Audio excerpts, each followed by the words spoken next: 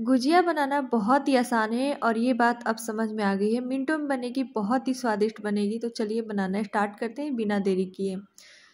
मैदा लेंगे। मैदा में आधा कप सूजी लेंगे। जैसे दो कप मैदा है तो आधा कप सूजी ले लेंगे।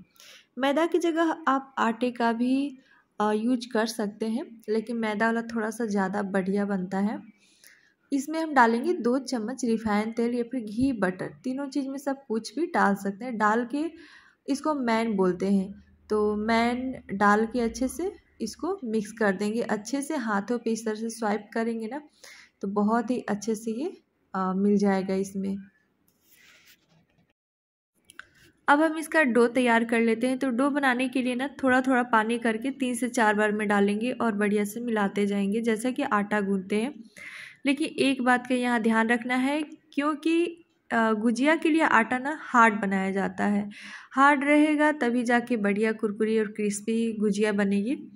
नॉर्मल जैसे आटा या पराठा के लिए बनाते हैं, वैसा नहीं होना चाहिए इस बात का हम ध्यान रखेंगे। तो इस तरह से हम बहुत ही आसानी से आटा गूँथ के तैयार कर लेंगे। पाँच मिनट के लिए रेस्ट होने देंगे। जैसा कि हमने पहले ही बता दिया है कि गुजिया बनाना बहुत ही आसान है और आसान को और भी आसान बनाते हैं। तो चलिए, रेडीमेड या फिर घर पे बनाया हुआ खोया ले लेंगे और हम लेंगे एक कप या एक कटोरी नारियल का बुरादा। आप कच्चा वाला भी ले सकते हो और जो बुरादा पैकेट में आता है वो भी ले सकते हो। अब हम इसमें डालेंगे हमारा खोया और खोया में ना चीनी मिक्स होता है। तो हम अपने टेस्ट के अनुसार चीनी ऊपर से डाल सकते हैं। चीनी का पाउडर डालें या फिर हमने क्या किया है ना कि चीनी को पहले से पानी में डालकर पिघला लिया है। क्योंकि इसमें मिक्स करने में बहुत ही आसानी होगी। तो देखा ना बहुत ही आसान है इसके लिए स्टफिंग बनाना बहुत ही टेस्टी बनेगा। ये वाला गुजिया जो भी खाएगा ना मतलब आपसे रेसिपी ज़रूर पूछेगा कि कैसे बनाए हो और क्या क्या डाले हो। एकदम मलाई वाला गुजिया बनता है। तो थोड़ा सा हम चाशनी भी इसमें डाल देंगे और मिला लेंगे। चम्मच से ना हो पाए तो हाथों से मिलाएँगे। तो हम हाथों से ही मिलाना आ, सही समझते हैं। तो इसे हाथ से मिलाकर हम इसको रख लेंगे। अब चलते हैं गुजिया का नेक्स्ट प्रोसेस में। गुजिया के लिए पूड़ी बनाना है तो पूड़ी मैं स्लेब्स पर ही बना लूँगी। चौकी की ज़रूरत नहीं पड़ती है, बहुत ही आसान होता है इस पर बनाना। तो एक बड़ा सा लोई ले लेंगे ऐसी, जैसे तैसे, ज़्यादा परफेक्ट बनाने की कोशिश नहीं करना है यहाँ पे। तो लोई बनाकर पेड़ा बना लेंगे और तेल में या फिर आटा में। तो तेल में आसानी होती है तो तेल में हम डाल कर इसको पतला सा बेल लेंगे, बहुत बड़े साइज़ का। क्योंकि बार बार करना ना पड़े और हम जो गुजिया बनाएँगे वो मिनी साइज़ वाला बनाएँगे। तो एक कटोरा लेंगे, जितना बड़ा साइज़ छोटा साइज़ जब बनाना चाहते हो, उतना बड़े साइज़ का कप या फिर कटोरा ले लेंगे, धारदार वाला। और उसे हम कट कर लेंगे, सबको अलग अलग कर लेंगे और अब हम इसको बनाएँगे।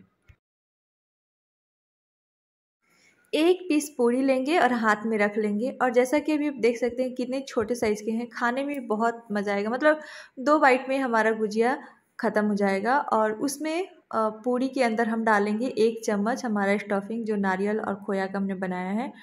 और सच में मतलब खाइए ना तो बहुत ही टेस्टी बनता है ये वाला। इसे हम जैसे गुजिया का शेप देते हैं ना, वैसे ही दे लेंगे। अभी आप वीडियो में देख सकते हैं। मुझे इसको एक्सप्लेन करना थोड़ा मुश्किल हो रहा है कि मैं क्या बताऊँ कि कैसे करना है। तो आप वीडियो में देख सकते हैं कि मैं कैसे कर रही हूँ। तो सेम प्रोसेस से बाकी सारा गुजिया बना के तैयार कर लेंगे, एक प्लेट में रख लेंगे। इसके लिए ना सांचा भी आता है, मशीन आता है, उससे भी बना सकते हैं। तेल गरम हो चुका है, पहले से ही हमने रखा हुआ था, अब हम उसमें एक एक करके डाल देंगे। तो मैं रिफ़ाइन तेल में बना रही हूँ फॉर्चून रिफ़ाइन ऑयल में। आप अपना मनपसंद तेल जो डेली यूज़ होता हो, उसमें बना सकते हैं। घी में तो और भी टेस्टी बनेगा, लेकिन इतना सारा घी मेरे पास है नहीं तो मैं रिफ़ाइन तेल ही बना रही हूँ। इसको उलट पलट कर देंगे। स्टार्टिंग में हाई फ्लेम पर बनाएँगे, गैस को ध्यान रखना बहुत ज़रूरी है कि हमें कितने टेम्परेचर बनाने हैं। तो स्टार्टिंग में हमने हाई फ्लेम रखा हुआ था और जब तेल अच्छे से गर्म हो गया तो हम मीडियम फ्लेम को कर देंगे। इससे क्या होगा ना कि गुजिया जलेगा नहीं और कलर एकदम परफेक्ट आएगा, अंदर से भी बाहर से भी एकदम परफेक्ट बनेगा। तो हमारा जो गुजिया है, अभी आप देख सकते हैं कि लास्ट टाइम में मैं ऊपर नीचे चारों तरफ़ से इसको हिला रही हूँ, जिससे कि कलर परफेक्ट है, अच्छे है। तो अभी ये गोल्डन कलर का हो चुका है और कुरकुरी भी लग रही है क्रिस्पी जैसा। तो हमारा गुजिया बन के तैयार है और हम चाहें तो इसके ऊपर से चाशनी भी डालने के लिए बना सकते हैं, लेकिन चाशनी वाला ज़्यादा मीठा हो जाता है तो आप चाहो तो बना सकते हैं। हमारा गुजिया बन के तैयार हो गया है। सेम प्रोसेस से बाकी सारा गुजिया बना लेंगे। तो इस होली, इस गुजिए को ट्राई ज़रूर करिए। ट्राई कीजिए तो फीडबैक ज़रूर दीजिए। आपको हमारी वीडियो पसंद आए तब लाइक कीजिए। पसंद नहीं आए डिसलाइक कीजिए। हमारे चैनल को सब्सक्राइब ज़रूर करिए। तो अभी आप देख सकते हैं हमारी गुजिया जो है ना, एक बार में से फूट जा रही है। मतलब फूली फूली बहुत ही बढ़िया कुरकुरी बनी है।